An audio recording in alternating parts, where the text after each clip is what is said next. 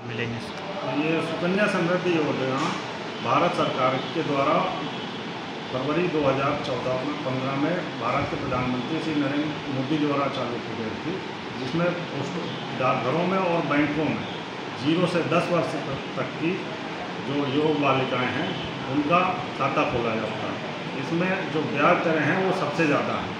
इस समय वर्तमान में सात दशमलव छः परसेंट ब्याज दर मिल रही है, जिसकी वजह से पैसा तेज़ी से बढ़ता है।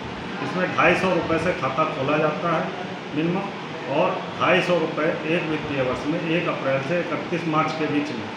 कम से कम जमा होनी चाहिए, वो अधिकतम डेढ़ लाख रुपये तक, एक लाख पचास हज़ार रुपये तक आप जमा कर सकते हैं आम जनता जमा कर सकती है। और इसमें खाते में पंद्रह वर्ष तक पैसा जमा होता है। खाता खाता खोलने की तिथि से इक्कीस वर्ष बाद पूर्ण होता है। सर, इस इस योजना के तहत किस तरह से कार्यक्रम करके लोगों को जागरूक किया जाता है?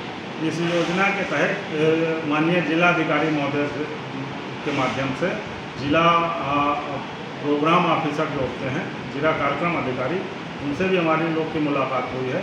उन्होंने समस्त सी को निर्देश दिया गया है कि आंगनबाड़ी कार्यकर्तियों के सहयोग से ज़ीरो से, जिससे हमें पता चल सके कि इस ज़िले में, इस ज़िले को हम, हमें, हमीरपुर जनपद को, संपूर्ण सुकन्या जनपद बनाने के उद्देश्य से हम लोग उसका व्यापक प्रचार प्रसार कर रहे हैं और आंगनबाड़ी कार्यकर्तियों से के बीच में भी जो है बीच बीच में ब्लॉक स्तर पे उनसे बैठक करके हमारे शाखा डाकपाल गाँव गाँव के स्तर पर हम लोग जो है ज़ीरो से दस साल तक की लड़कियों का खाता खोल के इस ज़िले को संपूर्ण सुकन्या ग्राम आच्छादित हैं। क्या नाम है आपका? सर मैं संदीप चौसे सहायक अधीक्षक डाकघर हमीरपुर मंडल हमीरपुर